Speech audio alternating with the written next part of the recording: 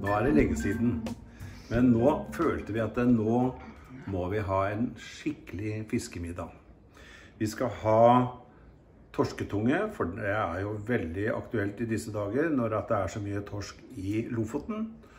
Vi skal ha ur. Det er den røde fisken som svømmer veldig dypt og spiser bare blåskjell og andre gode saker. Og er en veldig flott fisk. Og så til slutt så skal vi ha sjokoladefondant med eh, Hva heter det igjen? Det her gule Mango. Mango for to. Ja, vi skal ha en mango. Det er, vi er jo bare to, så da blir det mango for to. Ja. Så får vi se åssen det blir. Det viktigste er jo når vi skal ha f.eks. fisk, for den kan jo ikke stekes et kvarter eller ti minutter eller en halvtime eller to dager før. Den må stekes mens gjestene sitter. Så det vi har gjort, det er eh, å salte fileten. Og, sånn, og det gjør vi for at det, da blir fisken mye fastere. Nå er jo den eh, uren, den er jo Det er ur. det er ur, ja. Det er, det er, ikke, det er bare én ur, det er ikke ti. ti ur. Tok du den? Og her så har vi tunge. Torsketunge. Nå er jo det veldig inn akkurat nå, for nå napper de opp den ene skreien etter den andre opp i Lofoten. Og så har jeg salta litt og pepra potetene. Laga Jeg skal ha en spørsmål. Ja, spørsmål. Ja. Men altså, halve tallerken med grønt. Ja, jeg, jeg kan jo ikke farve tomatene grønne.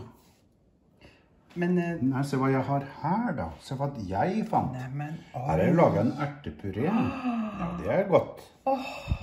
Det er nesten Og så, jeg skal jo panere de her um, torsketungene med uh, Her er det jo sånn uh, maismel med salt og pepper.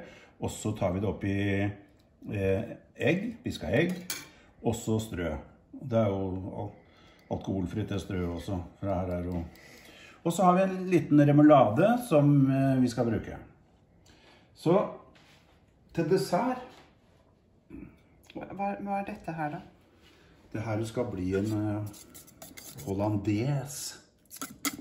Men det skal vi det, det skal vi se nærmere på. Det kan jeg ikke lage nå. Her har fruen laget da Vi skal ha en eh, sjokoladefondant med noen skiver med den. Eh, Det kan vi jo heller ikke lage nå. Så sånn, det, det her gjør vi på forhånd.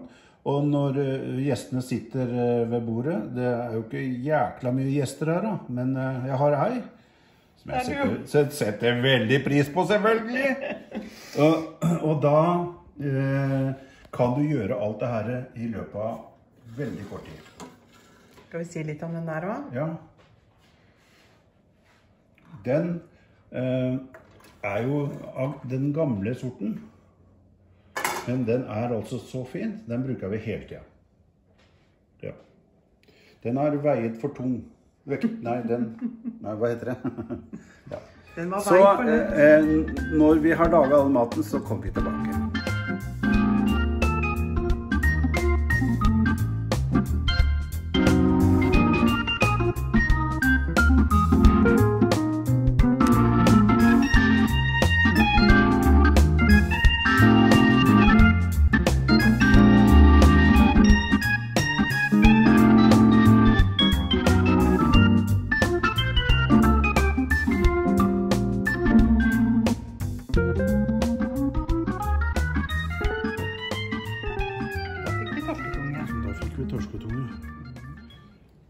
Skal det være en hjemmelaga re re remolade.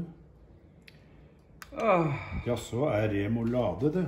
Ja da, det er det. Det er remolade. Den er til meg.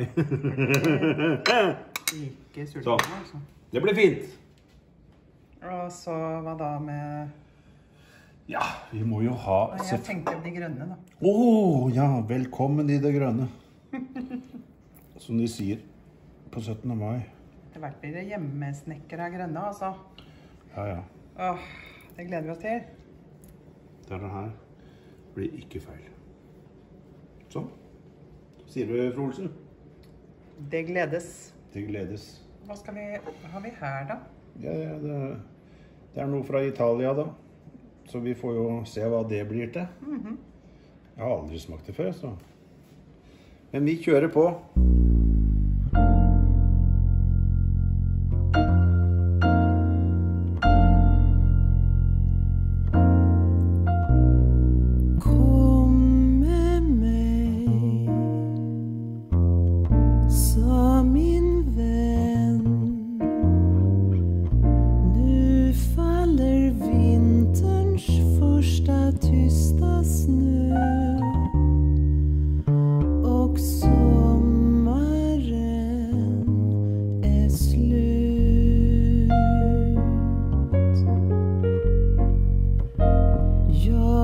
Har en segelbåt i klare sjø.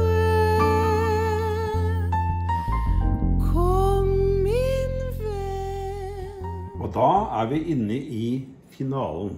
Dette er en sjokoladefondant med eh, mango. Og så er det Det snør jo. Og her har det fader i meg snødd her òg. Altså, nå har vi hatt Altså, dere har jo ikke vært med på eh, selve spisinga, da. Men det har jo Det her smakte godt. Ikke gå forbi en ur som ligger i disken og er fersk. Det var bare sykt godt. Og eh, Fru Olsen har jo mista språket, så det er derfor hun ikke kommenterer noe. Hun bare, hun bare ler latterlig. Det var bare latterlig godt, liksom. Det var lattelig latterlig godt. Vet du hva? Nå ønsker jeg dere en fortryllende kveld videre.